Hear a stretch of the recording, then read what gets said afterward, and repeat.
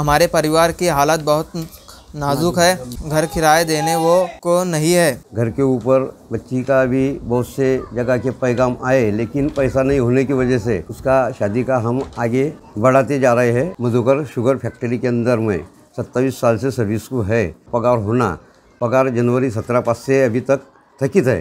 दो साल से फैक्ट्री बंद है। फिर हमने आत्मदहन का फैसला लिया। आज हम बात कर रहे हैं मधुकर साकार कारखाना। फैजपुर यहाँ के कर्मचारी हमीद शाह बिस्मिल्ला शाह। इन्होंने आज पुलिस स्टेशन जिला अधिकारी, मुख्यमंत्री, आमदार, खासदार और कारखाना संचालक मंडल को एक निवेदन पत्र दिया, जिसमें इन्होंने कहा कि मैं 28 जून को फैजपुर शहर के मधुकर साकार कारखाने के मेन गेट पर आत्मदहन आत्म बलिदान खुदकुशी करूँगा। पूरे परिवार के साथ 2017 से मुझे पगार नहीं मिला। मेरे घर की परिस्थिति बहुत नाजुक है और मैं किराया भी नहीं भर सकता। मेरी लड़की की शादी की उम्र हो चुकी है, लेकिन मैं उसकी शादी नहीं कर पा रहा हूँ।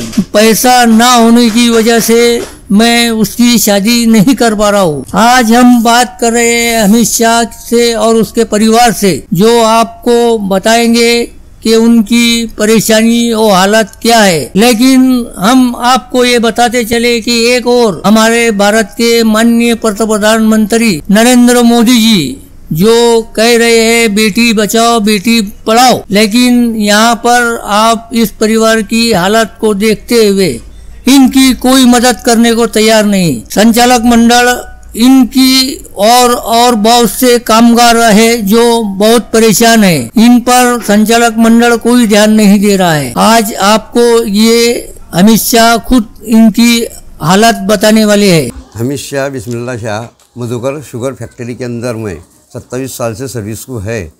उनको बार बार अर्जी देते रहे। कारखाने तरफ़, यूनियन तरफ़, संचालक मंडल की तरफ़ पगार होना। पगार जनवरी सत्रह पास से अभी तक थकित है। और दो साल से फैक्ट्री बंद है। हम वो बारे में बार बार उनसे रिक्वेस्ट किया है कि हमको पगार होना पगार होना तो पगार अभी तक नहीं मिल रहे हैं और हम बहुत परेशान हालत में हैं। एक साल से या पंद्रह महीने से कोरोना का उसमें प्रादुर्भाव होने से, हम घर की हालात नाजुक होने से, खेती वगैरह नहीं होने से, हम नौकरी के ऊपर ही डिपेंड है। ये हिसाब से आज हमारे को ये नौबत आ गई क्या ये लोगों को बोल बोल के हम बहुत परेशान हो गए? आखिर हमने आत्मदहन का फैसला लिया और सात तारीख पास से अपने माननीय मुख्यमंत्री जी उद्धव जी ठाकरे और अपने जिला अधिकारी जलगांव, इनके तरफ़ उसके बाद अपने खासदार साहब, आमदार साहब, यावल रावेर तालुका, रावेर लोकसभा के खासदार और उपविभागीय अधिकारी, प्रांत फैजपुर महाशय सहायक पुलिस निरीक्षक फैजपुर चेयरमैन, माननीय कारखाना चेयरमैन आणि वाइस चेयरमैन और संचालक मंडल। इनके तरफ़ मैं ये सब जो भी है, कागजात प्रति रवाना किया है और 28 का निर्णय मैं फैमिली सहित जो लिया है, इसको मेरी फैमिली का सपोर्ट है। हालत बहुत नाजुक चालू है, ये हिसाब से हमने निर्णय लिया है। क्यों?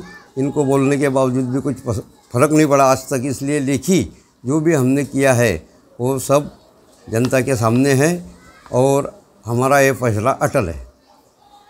अभी फ़िलहाल में जो हालत है तो नौकरी के सिवा दूसरा पर्याय नहीं है और मेरे पास खेती वगैरह नहीं है। घर के ऊपर बच्ची का भी बहुत से जगह के पैगाम आए, लेकिन पैसा नहीं होने की वजह से उसका शादी का हम आगे बढ़ाते जा रहे हैं और उसके बाद बच्चा भी बारहवीं कर रहा है। उसको भी शिक्षण के लिए पैसे की ज़रूरत पड़ रही है। घर के अंदर दवा खाने का जो भी है, वो शुरू रहता है खर्चा।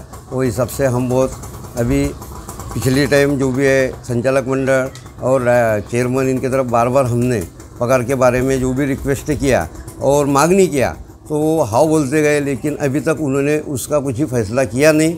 इसलिए हमको ये आत्मदहन का इशारा देना पड़ा। हाँ। मैं अमित शाह बिस्मिल्ला शाह का लड़का। मेरे अब्बा मधुकर सहकार कारखाने में काम करते हैं। 2017 जनवरी पासून उनको पगार नहीं मिली है। जनवरी 2017 से उनकी पगार नहीं मिली है। हमारे परिवार की हालत बहुत नाजुक है। घर किराए देने वो को नहीं है। अब्बा ने जो निर्णय लिया है, उसका हम सब साथ देंगे। पिछले दो साल, दो सालों से ज़िंदगी जीना मुश्किल हो गई है। हमारी कोई मदद नहीं है, मदद नहीं हो रही है। हम क्या, हमने क्या करना, आप बताएँ। 28 जून जो निर्णय है, वो हम उनके साथ है, उनका साथ देंगे हम। और जो भी अभी परेशानी चालू है, हम चाहते हैं कि वो हल हो, हम वही बताना चाहते